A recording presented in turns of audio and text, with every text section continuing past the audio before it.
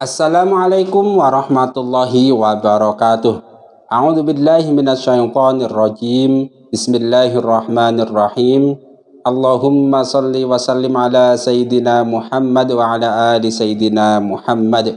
Alhamdulillahi rabbil alamin. Amma ba'du.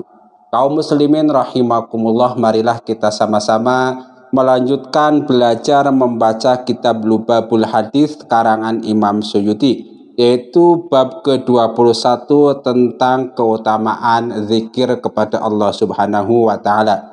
Pada hadis yang pertama Imam Suyuti menuliskan zikrullahi alamul imani wa bara'atum minan nifaki wa hisnum minasyaitani wa hirzum minan nirani.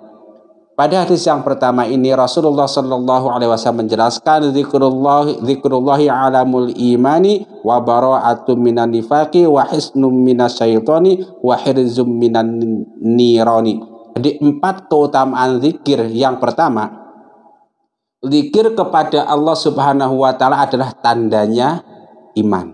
Jadi kalau ada orang yang sedang berzikir itu tandanya dia orang beri beriman hakikatnya wallahu alam. Misalnya ada orang mengucapkan la ilaha illallah, la ilaha illallah. Itu tanya dia orang beriman. Tentu zikir ada zikir dengan lisan, ada zikir dengan hati, ada zikir dengan anggota badan. Ya. Mungkin mulutnya nggak pernah mengucap la ilaha illallah, tapi siapa tahu bos hatinya terus bergezorak mengucapkan kalimat la ilaha illallah. Mungkin mulutnya nggak pernah mengucapkan la ilaha illallah bos. Tetapi siapa tahu perbuatannya terus sesuai dengan kalimat la ilaha illallah. Kira-kira begitu. Nah, kita nggak pernah tahu. Itu yang satu. Bahwa zikir merupakan tanda dari keimanan seseorang atau benderanya iman adalah zikir. Lalu yang kedua, wabaro atun minan nifaki. Jadi zikir itu membebaskan diri kita dari munah, munafik. Jadi kalau kita mau berzikir kepada Allah, kita bisa terbebas dari munafik. Contohnya banyak. Orang munafik suruh mengucapkan La ilaha illallah Muhammadur Rasulullah males dia. Orang munafik hakikatnya nggak iman kepada Allah nggak iman kepada Rasul Rasulullah. Misalnya kalau zaman sekarang itu kan ada masur kalimat tauhid. Orang-orang munafik enggan mengapa mengucapkan kalimat tauhid enggan memakai simbol-simbol tauhid. Sebagian tentunya kira-kira begitu ya. Dengan kata lain kalau kita kepengen menjaga iman kita banyak zikir kepada Allah Lafalnya terserah mau la ilaha illallah silahkan mau istighfar astagfirullah silahkan mau tasbih silahkan. Tapi kalau mau yang paling utama adalah afdalul zikri fa'lam annahu la ilaha illallah. Dari sekian banyak lafal zikir dari ribuan lafal zikir Rasulullah memilihkan kita satu zikir yang paling utama yaitu kalimat la ilaha illallah. Kira-kira begitu ay ma'a rasuli ma'a rasulillah. Selanjutnya wahisnum minasyaiton menjadi benteng dari setan. Nah, kalau kita kepengin selamat dari godaan setan yang terkutuk, maka salah satu caranya adalah dengan ingat kepada Allah. Ingat kepada Allah, pikir kepada Allah. Baik zikir dengan lisan maupun zikir dengan hati maupun zikir dengan anggota badan tentu yang namanya setan sebagai sebuah nama jenis itu kan banyak. Ada setan dari bangsa jin ada setan dari bangsa manusia ada setan yang terlihat ada setan yang tidak terlihat dan lain-lain dan lain. Dengan kata ini semua perbuatan buruk yang tidak sesuai dengan syariat Islam bisa dibilang merupakan se setan. Supaya selamat gimana? Yaitu kita ingat kepada Allah. Ingat kepada Allah bukan melulu bil lisan, bukan melulu subhanallah, bukan melulu la ilaha illallah. Ingat kepada Allah dan hukum-hukumnya Allah juga diingat dan dilaksanakan kira begitu ya Kita lanjutkan wahirzum minan nironi dan menjadi penjaga dari api neraka. Itulah jadi kalau kita kepengin bebas dari api neraka salah satu cara dan mengingat Allah Subhanahu wa taala dengan memperbanyak zikir baik dalam keadaan duduk, baik dalam keadaan berdiri, baik dalam keadaan terbaring maupun dalam keadaan di Itulah empat keutamaan zikir yang pertama menjadi tandanya iman, yang kedua membebaskan kita dari kemunafikan, yang ketiga menjaga kita dari godaan setan, dan yang keempat membebaskan kita dari api neraka. Itu empat keutamaan zikir. Kita lanjutkan hadis yang kedua. Abdul zikri ala khofi. Sebaik-baik zikir adalah zikir sir atau zikir yang samar pemahaman tentang zikir samar banyak sekali lah versi para ulama, versi para alim. Tapi yang termasyhur atau yang inti pada zikir samar itu ada zikir, ada yang mengatakan zikir di dalam hati. Jadi zikir hati saja itu adalah zikir samar. Zikir yang tidak diketahui oleh orang lain. Misalnya begini, kalau kita zikir la ilaha illallah, la ilaha illallah itu kan lisan kita mengucapkan kemungkinan ada orang lain tahu, kemungkinan ada jin tahu, ada setan tahu, malaikat tahu, tapi kalau di dalam hati itu sir kemungkinan yang tahu hanya kita dan Allah Subhanahu wa taala. Itu. Ya kan mungkin mungkin tubuh kita sedang kerja macul di sawah, dagang di pasar atau bisnis di luar negeri, tetapi hati kita sedang bersama Allah Subhanahu wa ta'ala itu zikir sir. Selanjutnya hadis yang ketiga asaddal a'mali salah satu zikrullah ta'ala ala kulli halin wa muwasatul akhi min malikin wa insaful fakiri al baisi min nafsik. Jadi perbuatan amal yang paling berat itu ada tiga. Yang pertama zikir kepada Allah Subhanahu wa taala, yang kedua adalah menolong saudara dari hartamu dan yang ketiga adalah memenuhi hak-hak orang miskin yang mem yang memerlukan secara penuh. Dengan kata lain beginilah, ada tiga perbuatan yang berat tetapi pahalanya banyak. Yang pertama ingat kepada Allah zikrullah, yang kedua itu menolong saudara kita dan yang ketiga itu adalah memenuhi hak-hak fakir miskin. Lalu hadis yang keempat, alamatu hubbillahi hubbu dzikrillah wa alamatu bugdillahi bugdu dzikrillahi azza wa jalla. Salah satu tanda cinta kepada Allah adalah cinta ingat kepada Allah. Dan salah satu tanda benci kepada Allah adalah benci kepada zikrullah. Kalau cinta kepada Allah, pasti kita banyak pikir kepada Allah. Kalau kita benci kepada Allah, pasti kita benci kepada zikir kepada Allah. Lalu gimana kalau ada orang-orang yang membenci orang yang zikir misalnya? Ada orang ngumpul untuk membaca kalimat tahlil, benci. Itu gimana itu? Ada orang ziarah untuk membaca doa di kubur, benci. Itu kan benci zikir kepada Allah udah gak usah diterutin. Intinya begini, salah satu ciri kita cinta kepada Allah adalah cinta kepada zikir. Dan salah satu ciri kita itu benci kepada Allah adalah kita benci kepada zikir. Ya itu saja. Tafsirannya monggo sendirilah. Hadis yang kelima. Ana ba'ang abdi idza daqarani wa taharokat bi syafatahu. Ini hadis qudsi. Allah Subhanahu wa taala berfirman dalam hadis qudsi, aku bersama hambaku ketika dia ingat kepadaku dan lisannya itu bergerak-gerak karena ingat kepada Allah.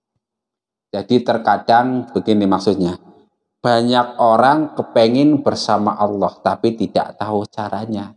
Nah di sini Rasulullah mengabarkan sebuah hadits kudsi bagaimana caranya bersama Allah yaitu zikrullah, zikir kepada Allah. Di sini ada syaratnya, lisannya itu bergerak. Jadi kalau kita bersama Allah cukup la ilaha illallah, dah kita bersama Allah. Cukup subhanallah, dah kita bersama Allah.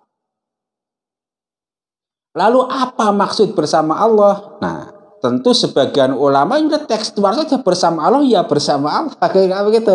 Cuman itu kan bagi sebagian orang nanti arawan mujassimah, arawan musyabbihah dan lain-lain dan lain.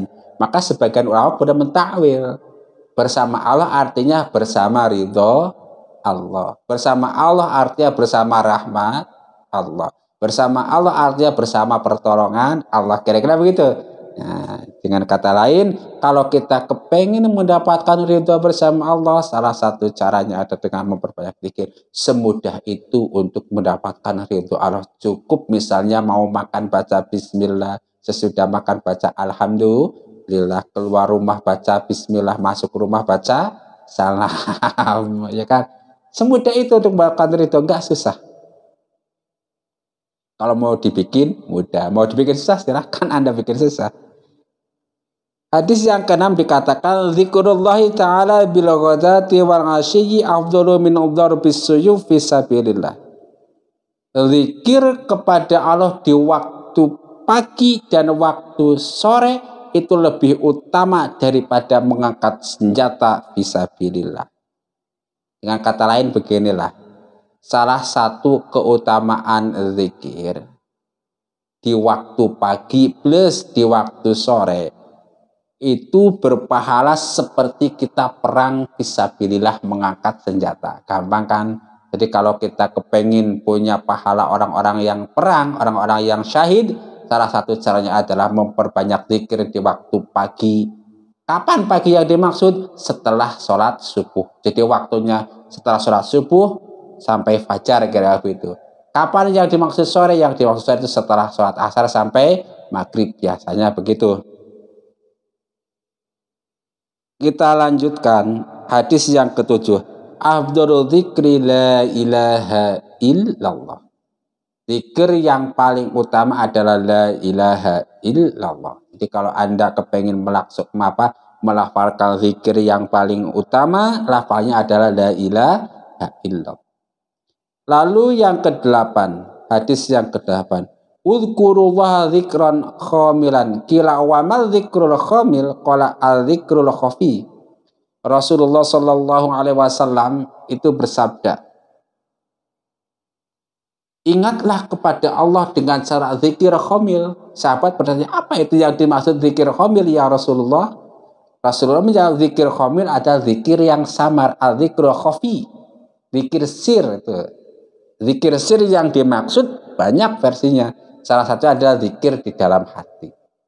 Nanti ada versi lain yang mengatakan adalah misalnya zikir anggota badan kita otomatis. Misalnya kita melaksanakan tugas dari atasan dalam rangka mencari Allah itu ya zikir juga. Kofi. Kita lanjutkan hadis yang ke-9. Afdolul ibadi darajatan indallahi yaumal qiyamati katsira hamba yang paling utama derajatnya menurut Allah Subhanahu wa taala kelak pada hari kiamat itu siapa sih? Jawabannya adalah orang yang paling banyak zikir kepada Allah. Lalu syaratnya zikir bisa disebut banyak itu apa? Banyak syaratnya. Tapi yang paling mudah adalah kalau satu itu satu, kalau dua itu dua, kalau tiga itu tiga, kalau empat itu banyak. Jadi kalau orang udah zikir 4 udah banyak lah kira-kira gitu. Apalagi 40, apalagi 400, apalagi 4000. Itu satu kaul. Kaul yang lain mengatakan zikir dikatakan banyak kalau dia itu pernah zikir sambil duduk. Misalnya ketika duduk kita membaca la ilaha illallah nanti berdiri membaca la ilaha illallah, nanti pas tidur berbaring membaca la ilaha illallah, ya itu sudah banyak. Artinya apa? Dia sudah melakukan zikir sambil duduk, melakukan zikir sambil berdiri, melakukan zikir sambil berbaring, melakukan zikir sambil tidur. Banyak. Kira gitu ya. Nah, jadinya intinya sebanyak mungkin. Lalu ada yang mengatakan suatu zikir bisa dikatakan banyak kalau dia bisa full 24 jam ingat kepada Allah. Itu juga bisa macam-macam lah. Kalau kelas kita intinya ya udah perbanyak zikir saja lah. Duduk zikir subhanallah misalnya. berdiri baca bismillah misalnya. Berbaring baca bismillah lagi baca pokoknya kalimat-kalimat toibah insya Allah kalau sudah seperti itu sudah dihitung zikir yang banyak. Kalau sudah banyak yang zikir maka kita akan menjadi salah satu orang yang paling utama derajatnya di sisi Allah nanti pada hari kiamat. Allahumma amin. Selanjutnya hadis yang ke-10 khairul zikri al zikrul khafi wa khairul ibadati akhaffuha wa khairul rizki mayakfi nah di sini Rasulullah Shallallahu menjelaskan tiga hal yang paling utama. Yang pertama zikir yang paling baik itu apa sih? Kata Rasulullah zikir yang paling baik adalah zikir khafi. Apa itu zikir khafi? Zikir sir. Apa itu zikir sir? Zikir di dalam hati. Apa itu zikir dalam hati? Zikir yang tidak diketahui orang lain. Kira-kira begitu. Salah satu definisinya tentu banyak definisi yang lain. Yang kedua, ibadah yang paling utama itu ibadah yang paling mudah. Jadi ketika kita mau melaksanakan suatu taat atau suatu ibadah, kalau ada pilihan, misalnya ibadah A berat, ibadah B ringan. Kalau kita secara syar'i masih bisa memilih yang berat atau yang ringan, maka kita pilih yang ringan saja. Ngapain pilih yang berat-berat? Padahal yang ringan itu justru yang lebih baik kira-kira begitu. Kalau bisa memilih. Kalau nggak bisa memilih harus ibadah A ya udah A nggak ada pilihan kira begitu. Wa khairu rizki mayakfit rizki yang paling utama itu apa sih? Rizki yang paling baik itu apa sih? Kata Rasulullah rizki yang baik itu ada rizki yang mencukupi. Yang cukup.